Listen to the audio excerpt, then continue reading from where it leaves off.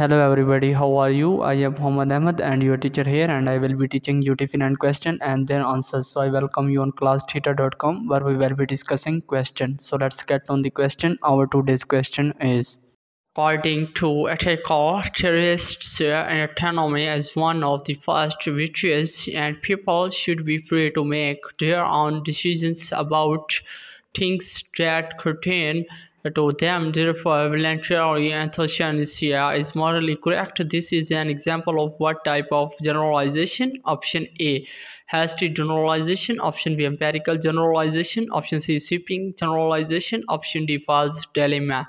The correct answer of the question, option C so that's the correct answer of the question. If you have any question just leave a comment. I will be answering you as soon as i can. Thank you very much for watching the video. Please don't forget to like share and subscribe our channel. Until next question bye bye